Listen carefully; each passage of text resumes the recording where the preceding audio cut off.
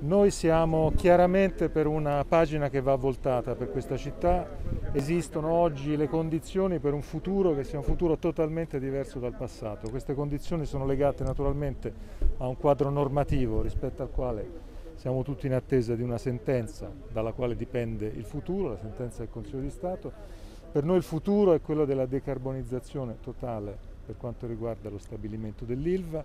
ma il futuro riguarda soprattutto tanti investimenti che devono essere fatti oltre,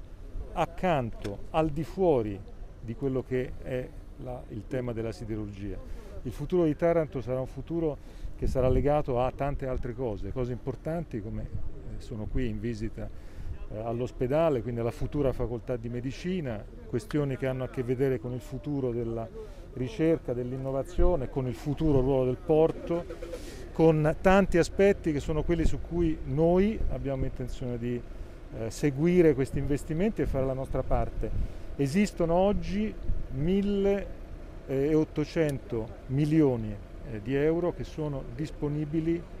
per il PNRR perché siano utilizzati a favore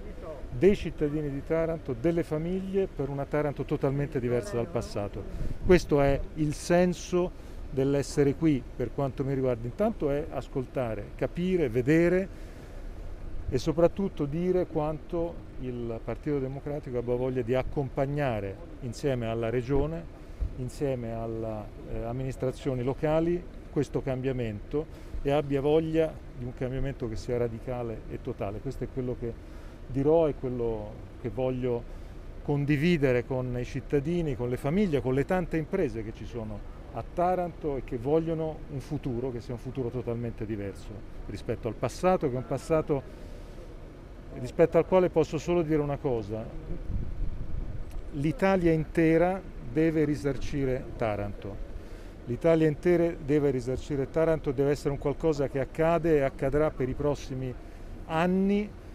in modo continuativo, massiccio, perché quello che è accaduto nei decenni scorsi eh, ha bisogno appunto di un impegno di risarcimento da parte di tutto eh, il Paese. L'Italia intera va verso un futuro che è un futuro di sostenibilità. La sostenibilità dei costi, è giusto che questi costi si paghino ed è giusto che il costo di questa transizione, di questi cambiamenti in nome della sostenibilità siano costi che ci carichiamo tutti interi come comunità nazionale.